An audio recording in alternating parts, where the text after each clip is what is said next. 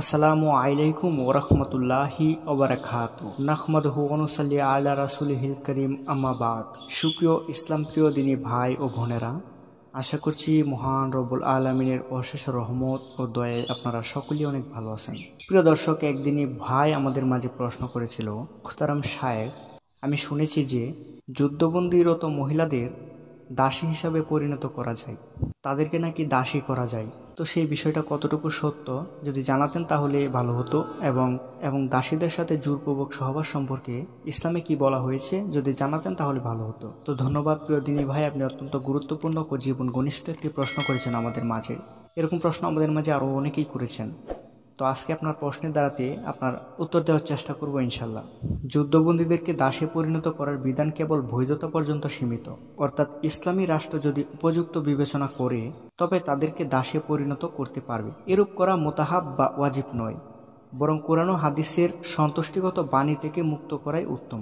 দাসে পরিণত করার অনুমতি ততক্ষণ যতক্ষণ পর্যন্ত শত্রুপক্ষের সাথে এবং বিপরীত কোনো চুক্তি না থাকে।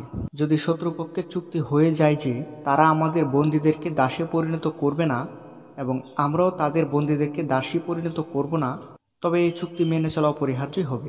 বর্তমান যুগে বিশ্বের অনেক দেশে এরূপ চুক্তিতে আবদ্ধ আছে। কাজে যেসব মুসলিম দেশ এ চুক্তিতে স্বাক্ষর করেছে, তাদের জন্য চুক্তি বিদ্যমান থাকা পর্যন্ত কোনো বন্দীকে দাসে পরিণত করা বৈধ হবে না।